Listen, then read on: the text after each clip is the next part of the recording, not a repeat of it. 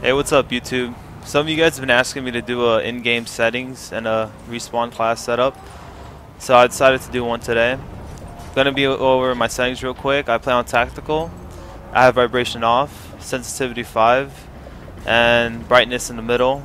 I like playing on sensitivity 5 because I feel like it's not it's it's fast enough where I can move around in case like there's someone behind me I have to turn around real quick but it's not slow because I, I, hate moving like really slow like a turtle like 3 sensitivity 2 sensitivity I play with no vibration because I know some players do but it just bothers me like when I'm shooting it has that it's the vibration in my hands kind of bothers me it makes me feel like I'm missing my shots and then tactical you know I have a SCUF so I'm able to jump with the A button but it's the paddle it's really easy and then I just knife with my right paddle.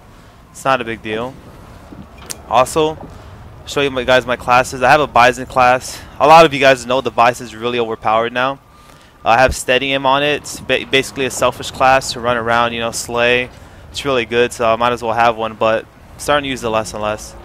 I have my trophy nade class. I like to use this class on Octane Domination because, you know, you got to hot flags and people love to use nades on there. Like, a lot of people have nade spots so, you know, trophy definitely helps, especially when going to another flag. I have a nade to get people off flags.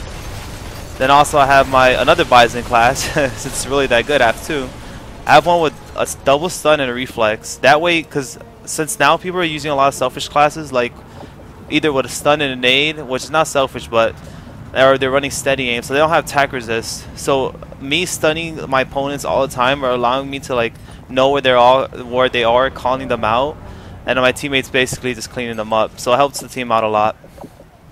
Then for my other class, I have an MTAR with attack resist. Now this is like maybe a rush class off break.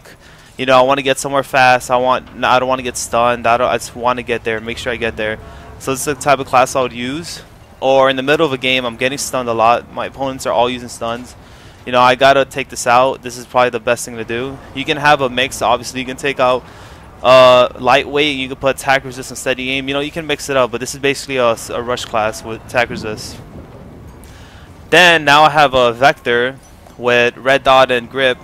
A lot of people like red dot and muzzle brake, but honestly, I just I find it inconsistent. Like when you're using muzzle brake, it sometimes it has a really bad recoil, and sometimes it can be fine. so I just I haven't been feeling their muzzle brake too much. I've been using it with grip, and it's actually been working really well. So I'm liking it. I just left it like that. And I have a stun and nade, you know, not selfish class, stun stuff, stun my opponent, throw nades on flags, you know, help clear out the spawn or etc. And then I have my A my AR class. This is not basically the only class I use on Octane Domination. I pull out an AR here and there. I'm on some flags like maybe Strikezone domination. I'll pull out the Remington, like to secure A. It's a, it's basically a situational class not many players do it, but I tend to do it sometimes because I, I, like adapting to the situations. And I got lightweight, marathon, and quick draw. Also, I know this is kind of a weird class, but I like it. I like to be aggressive AR, so I'm constantly running around or getting to like uh, power spots and stuff like that. So you know, I got the lightweight marathon to add to that, and then I got a quick draw, which is really necessary. And then obviously, thanks to specialists, I can get ready up as soon as I get two kills, so it's a win-win. And then I got muzzle brake and incog, uh, not incog, the thermal scope, thermal hybrid, I believe it's called.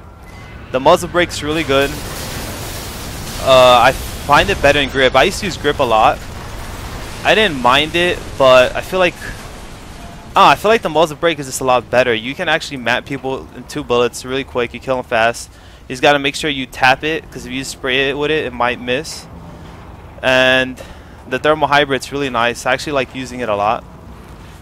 And what else?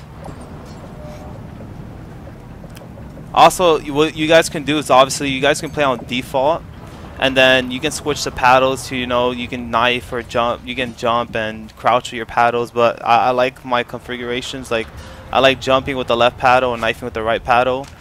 It's much simpler. And I want to tell you guys one more thing.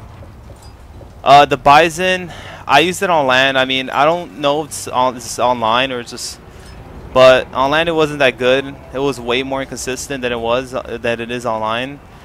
So, a lot of teams are going to try to start like we're going to play league matches today. We're going to try to get teams to just agree to not use biases at all, so it can be back to MTAR vectors, etc. So it'll just be a lot more fun and fair.